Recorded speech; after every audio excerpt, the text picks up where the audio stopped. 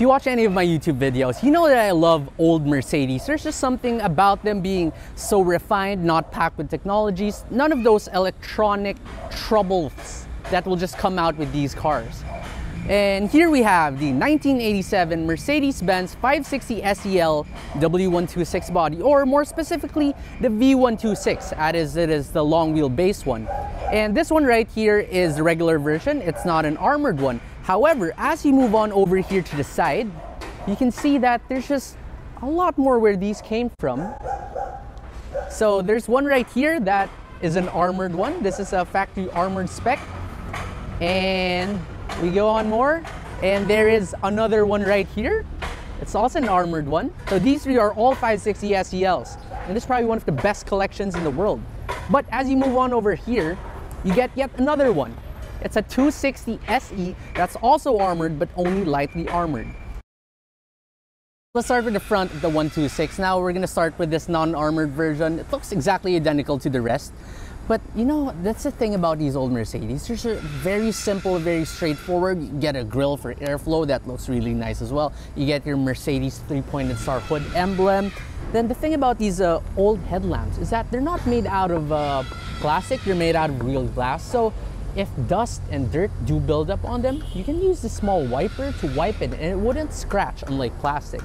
Now as you move on over to the side, you can just see how elegant this car is. Now this is the SEL, the long wheelbase version, which means it has a wheelbase that is 5.5 inches longer than a standard wheelbase. So that just makes this car really, really long. It's only around two inches shorter than the really, really big S-Class, the W140 S-Class, even in long wheelbase form.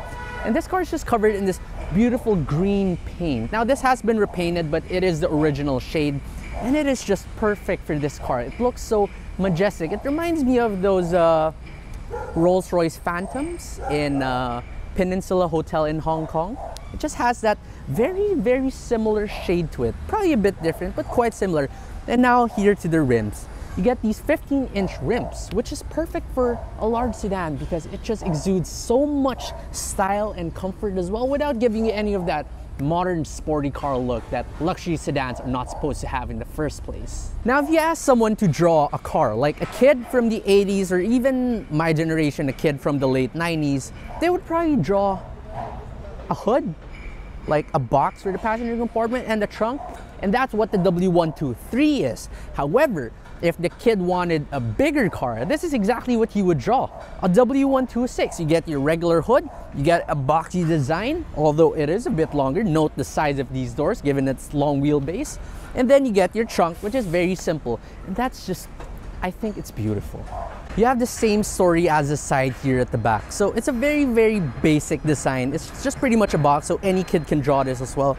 But then there's just those small touches that make it really nice. So a very 80s look. You get this uh, chrome accent on the bumper. You get this chrome strip as well. Three-pointed star. That's actually really, really big. That's almost that's bigger than the size of my palm. You got a 560 SEL badge with an underline. Mercedes did that to cut costs. That way it's just one piece. They can easily stick it there. Genius. And you have these tail lamps, which are ribbed.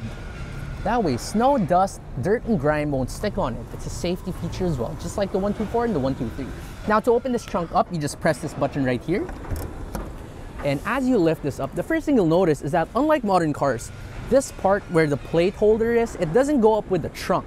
So it just remains fixed in place like that. Now, that's good because uh, there's nothing to hit your head on it. But the issue there is that you get this incredibly high load lip. So loading luggages in there would be a bit hard. But anyway, as you open this up, do you see the attention to detail Mercedes part? Do you see the color of the mats and the liners? It matches the exterior of the car, so it's green as well. And as you open this up, you get a full-size spare tire and your original 126 jack. That's something we barely get in cars nowadays, and that's just amazing. Fortunately, I don't see a warning triangle right here. There could be one, should you want to put one, and it's gonna be right here. Close this one up, and it has that uh, really nice thud to it, which I'm a big fan of. So to open up the hood of the 560 SEL, first you have to open up the latch in, on the inside as usual, and then you lift this one up. This one comes out, then you pull this one up, and right here under the hood, before you do anything to the engine, because you have this grill that's gonna hit your head, Mercedes had the mechanic in mind. So first, you come over to the passenger side. There's this latch here that you have to pull. Once that's down, you move on over to the driver's side. Usually you just need one person to do this, but it's way easier with two people. So now I just pull this down as well.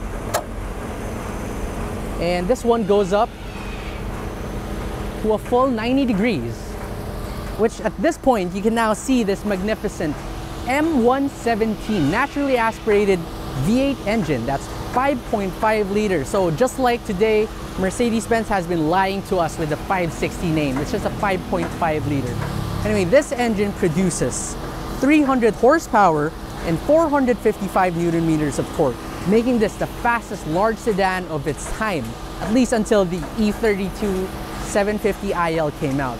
And this goes from 0 to 100 kilometers in only 6.9 seconds, which is very, very nice.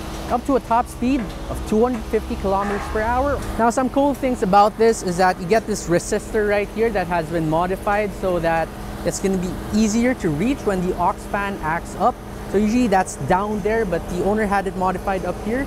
Then you also have this uh, fuel line thing that apparently, according to the owner, the fuel is cooled. So it's also connected to the compressor, which then feeds it to the engine. That doesn't make sense to me, but it's just very, very cool to know that. And you also get this uh, hood pad, which is aftermarket, because most of the hood pads in these cars, they tend to like crumble. So you get this uh, really nice uh, heat insulating hood pad thing. Very nice.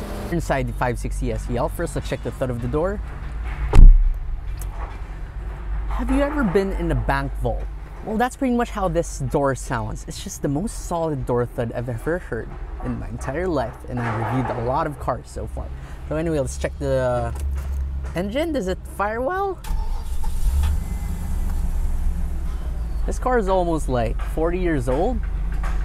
It fires right up like that. That's amazing. Now let's turn on the AC. Now in here in the cabin, it's a very 80s design. So it's very, very simple all over. So your dash, like it's not exactly soft touch, but you know it's high quality.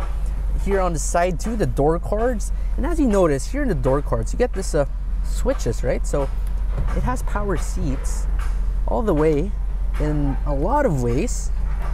Like you see that. And you also have this thing raise the headrest. So now the headrest switch is separate from the rest of the seats because when this car first came out, it didn't have the headrest control, but later on when they had it, they just decided to put it here because you don't have a space anymore up top. Now here too, you get this wood trim all over and it's very nice. It's in great shape actually. You get power windows for all four. The steering wheel too, it's covered this wood. It has a driver's airbag. This one being an 87 model, it didn't have the passenger airbag is standard yet. That was an option for this year. Then your gauge cluster too, it's very uh, your very conventional gauge cluster. So you actually get a clock here, which looks very, very tiny. You get an RPM gauge, red lines around 6,000 RPM. But what's interesting to note is that most of the time RPM is like revs per minute in thousands, right? So it goes like 1, 2, 3, 4, 5, I mean 10, oh yeah, 1, 2, 3, 4, 5, 6, 7, 8, 9, 10, 20, then just multiply it by like uh, 100. But for this one, it goes like 5, 10, 20, 30, 40, 50, 60, 70 times 100, one per minute, which is very interesting. This car only has 110,000 kilometers on it, which is very, very fresh. Now, what else in here? So here in the center, you get these air vents, right? And on the side, you get air vents too. But there's no way to turn off the air vents on the side. Aha, there is. So you move this uh, lever right here and it shuts off the driver's side air vent. Move this one for the passenger side air vent and you move the center run to turn off the air vent in the center, which is very, very cool. Both of them at the same time. You have the switch right here that turns on the dome light at the back. Then you have this really weird uh, primitive climate control switch. So you have a knob for your uh, temperature controls and you get this like whack-a-mole thing with EC being no compressor and this one with your compressor on and you have this recirculate button. It's just a very, very odd thing, but it's very cool. It's just something we don't see in cars anymore nowadays. Now you have the shifter, it's all wooden as well. You can go all the way to like two and down to one. It's a four-speed automatic. You also get heated seats, two-way heated seats. So if you want it a bit warm or very warm. Now here you get the this weird switch right here, is actually for the audio controls. I don't know why Mercedes put that, but it's very interesting. So if you move this to the back, that's your audio fade. So it moves all the sound to the back, and if you move it forward, it moves all the fade to the front, which is a very, very weird again. Now up top, you get the sun visor right here with the mirror and lights, and you get another visor for the middle to cover the sun that these two can't cover. And what's very interesting with this car is that for your seatbelt warning thing, you don't get a buzzer, you don't get any of that, but you do get this thing right here that looks like it's from an aircraft to buckle your seatbelts. So it also comes with a sunroof. It doesn't have glass though, so the entire thing just slides forward, but uh, it doesn't seem to work right now. And finally, I want to show you this uh, armrest, which is bolted onto the seats. So if I lift this up, and if I move the seats, note how like it moves together with the seats. It's very cool. Also, one thing to point out here is just how thick the padding is on this uh, mat. The noise insulation this provides is amazing. Here at the back, let's check the thud of the door. Again, it's a very, very bank vault like sound. Now here at the back, these seats are very 80s, very Mercedes, so they're incredibly soft and springy, unlike newer cars, which is a bit of an odd feeling today because most seats today are firm. You get this really nice headrest, which you can adjust. It's covered in, in supple leather, very, very supple leather as well. You get this armrest, no cup holders, none of that, so it's also very padded. It's also very springy and cushy feeling, just like your living room sofa. Now, over here, since it is a long wheelbase model, you get tons of legroom. This is seated behind my driving position, although I am 5'6", but I'm telling you, even if you're like six feet tall, this is no problem at all. You also get this uh, footrest right here, which you can easily just like rest your feet there. And it's also covered in the same color as the rest of the interior and the rest of the car. Now here at the side, you get more wood trim, same type of material as the front. You get the power windows, you get the heated seats for the back, which is again really cool. And you also get the power adjustable rear seats, so the entire bench moves forward and backwards. However, it doesn't seem to work right now. You get this really, really long door, the grab handle, which is around the size of the door as well, which is pretty cool because usually it's only around half the size in most cars. Yeah, it's really for the door. It's definitely for the door. Now, if you sit here in the middle, you do have a transmission tunnel, Although it is high, it's not very wide, so it's quite narrow. It's one of the most narrow transmission tunnels I've ever seen in a car. So that plus really, really wide car means that you can see three people abreast here, no problem. Although that's not the intended design, you can should you want to. Now the best thing about this car, if you're seated in the middle, you get this beautiful unobstructed hood. See that view? You get to see the three-pointed star in all its magnificent glory as you're chauffeured around in your Mercedes-Benz S-Class. So driving the 1987 Mercedes-Benz 560 SEL. Now this is the non-armored version. So the first thing you'll notice when you drive this car is just how smooth and isolated you are from the outside world. It's just not like any other modern car that I've driven. If you drove the W140, yes, there's that sense of isolation. It's probably a bit more isolated, that car, but there's just something about this car. Now, the W140 feels very, very wide, hence you feel so detached from everything else. Everything's just so far from you. Now, this car isn't as wide as that, yet it gives you that same sense of isolation, which is very, very amazing. Now, this being the top spec 560 SEL, you have that immense 300 horsepower 5.5 liter V8 under your disposal and as I shall now demonstrate by flooring this car that is smooth that is incredibly smooth the brakes too are pretty great on this one. Now the car isn't exactly fast, it's not, especially for modern standards. Even your compact sedans today, which uh, have a bigger engine, like probably like Golf GTI is definitely way faster than this car. But for a large, large sedan, this car is just really hard to beat when it comes to the refinement that you get with naturally aspirated big V8 engines over bumps and potholes. This car is incredibly comfy. Now these seats, unlike newer seats, they're incredibly uh, soft. They're not firm at all. There is still some sort of back support, which is very, very weird. I don't understand how it can be that soft yet deliver that amount of uh, orthopedic comfort. Let's say ergonomics is the right word for it, but that finds a way to deliver everything for you. Now your side mirrors, they are adjustable on the uh, side manually by just moving this knob on the side, while on the passenger side, it is electrically adjustable because Mercedes figured out you can easily just reach here, but you can't reach out the other side. So why would we give you two? Mercedes, the Germans. Now this car is definitely long, like it's incredibly long. It feels longer than a W140, although it, it isn't. And turning radius is uh, horrendous. This is a rather wide private road and I still have to reverse just to go around this thing. you know the power steering in this car is just incredibly heavy like you know it is assisted but unlike newer cars it's not overly assisted it's not something you can just turn with your pinky feels very very connected to the road.